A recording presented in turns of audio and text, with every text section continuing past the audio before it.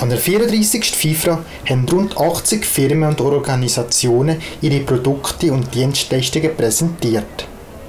Erstmals hat die FIFA über das Pfingstwochenende stattgefunden. Die Organisatoren sind mit den Besucherzahlen sehr zufrieden. Die Geschäftsführerin der FISP Expo, die Bea Zenhäuser, zieht eine positive Bilanz. Wir sind sehr zufrieden. Wir haben einen super Start am Freitag. Samstag super Besucher, ein tolles Programm, kann man sagen. Und der Sonntag war bombastisch. Die Laternenhalle in Fisch wird jedes Jahr mit viel Aufwand hergerichtet und bietet auf 2900 Quadratmeter Platz für die Aussteller. Das Interesse der Aussteller an der FIFA scheint ungebrochen. 88% der letztjährigen Aussteller sind in diesem Jahr wieder dabei gewesen. Für diese Treue und gute Zusammenarbeit ist die Organisatorin Bea Zenhäuser sehr dankbar. Also ich möchte im Namen von Fischb Expo alle herzlich Danke sagen, alle Aussteller, vor allem auch den ganz treuen Aussteller, die seit 34 Jahren dabei sind. Und jeder, der gekommen ist, die geben sich enorm mehr in der letzten Zeit. Also es ist Qualität vorhanden in der Ausstellung. Danke vielmals, dass ihr seid gekommen und euch alle Besucher wollte ich Danke sagen, dass ihr den Weg in die Thernahalle gefunden habt. Dankeschön. Es gibt Aussteller, die sind seit der Anfangszeit, also seit 34 Jahren schon dabei. Eines von diesen Unternehmen ist die Bringen AG. In diesem Jahr hat sich die Bringen AG etwas Besonderes einfallen wie ihr CEO, der Jean-Pierre Bringen, erzählt. IFRA ist ein Ort, wo man sich begegnen kann. Die Unternehmer haben sehr viel Gelegenheit, sich zu präsentieren, aufzutreten. Wir haben das in den ganzen Jahren gemacht. Und das letzte Jahr, mein Vater ist in der 85. gefeiert und ich habe meine, dieses Jahr meine 30-jährige Jubiläum in der Bringen AG feiern. Und beim Überlegen, wie können wir so ein Geschenk an die Leute zurückgeben, das Glück, das wir über die ganzen Jahre ist mir die Idee gekommen, dass wir, anstatt ich selber nochmals präsentiere, wie jedes Jahr, der Stand, der eigentlich sehr gut gelegen ist in der WIFRA, die diesen drei Stiftungen und Organisationen zur Verfügung stellen, als Dank für das Glück, das wir hatten und auch um diesen Leuten, die im Hintergrund so viel Arbeit leisten, für Menschen, die in der Not sind, dann auch mal die Gelegenheit zu geben, euch zu präsentieren, wie Unternehmer das jedes Jahr machen können.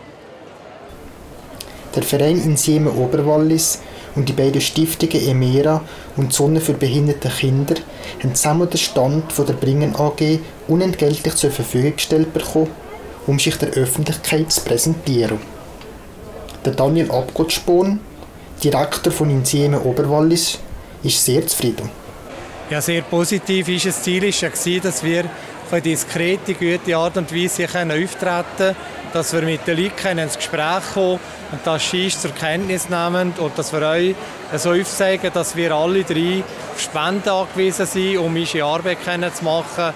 Wenn wir vom Staat äh, immer und in Siem Oberwallis subventioniert sind, ist es ganz wichtig, dass wir die Unterstützung von der Gesellschaft haben und von den Leuten im Oberwallis. Daniel Abgottspun unterstreicht die Bedeutung dieser Institutionen kann so sagen, als äh, Präsident der Direktoren vom ganzen Wallis von sozialen Institutionen ist für uns natürlich ganz wichtig, dass wir in der Gesellschaft äh, wahrgenommen werden, dass man weiß, warum das man zahlt. Das wird sich euch bewusst, dass es viel Geld kostet, aber es sind ganz wichtige Angebote für Menschen im ganzen Wallis und euch eben da im Oberwallis, die einen Wohnplatz brauchen oder Kinder, die das Recht auf eine Schule haben oder einen Internatsplatz. Und von daher denke ich, ist das gerade in der heutigen Zeit äh, euch in dieser Zusammenarbeit mit Bringen oder aber auch mit politischen Kräften und anderen ganz wichtig, dass man das aufrechterhalten und euch alle dahinter stehen, dass das eine Notwendigkeit ist für unsere Gesellschaft. Aber auch noch andere soziale Organisationen gesellen sich dieses Jahr zu den Gewerbetreibenden dazu. Am Stand Gemeinsam für mehr Lebensqualität treten neun verschiedene Gesundheitsorganisationen vom Oberwallis an einem gemeinsamen Stand auf.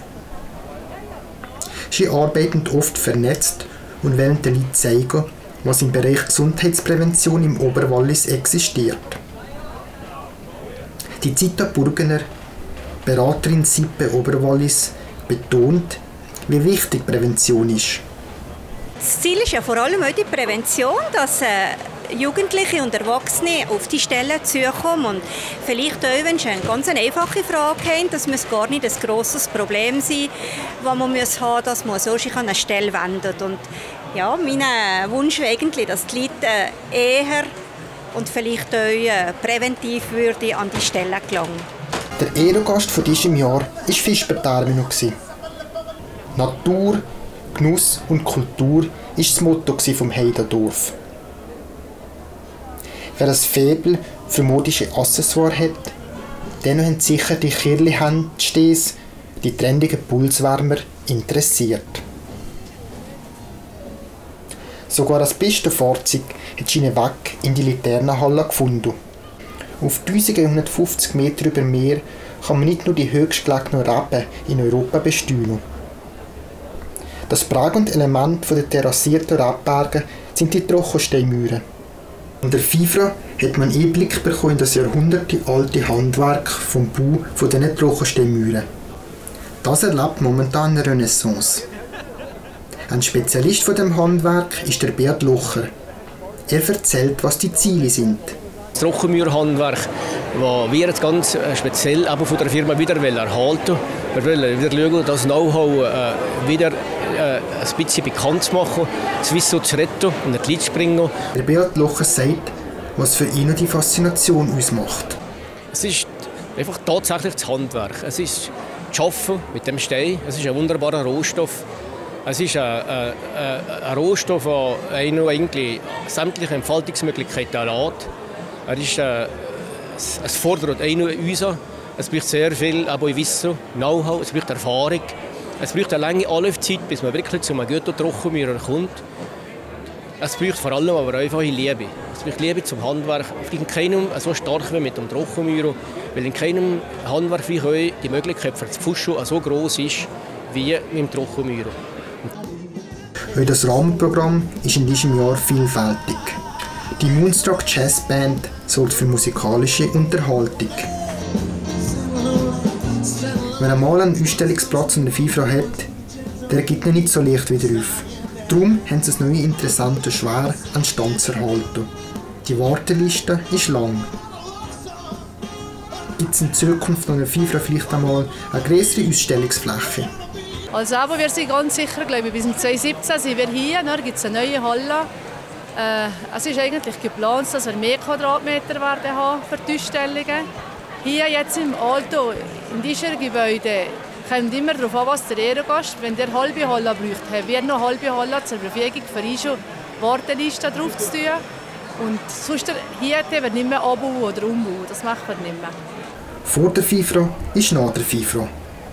Am Schluss hockt man sich zusammen, zieht Bilanz und diskutiert schon über die FIFRA im nächsten Jahr. Für neue Ideen sind die Organisatoren immer offen. So sollen die externen Auftritte im Rahmenprogramm weiter ausgebaut werden. Wir werden in dieser FIFA wieder eine Auswertung machen mit den Ausstellern. Wenn da eine Idee, zwei Kunden, die man realisieren kann, die man abklären kann, sind wir immer offen. Was auch schön ist, dass wir hier externe Auftritte hatten im Rahmenprogramm, wie im Samstag am Abend die Swiss Mountain Brass Band und die Brasstones sind da gewesen. Und heute haben wir auch wieder eine externe Musik, Musik die da ist.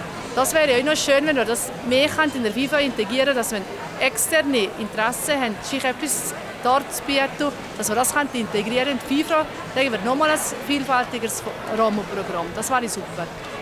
Auch nächstes Jahr wird die FIFA wieder Mitte Mai stattfinden. Der Ehrengast der 35. FIFA wird Raro Sankermann sein.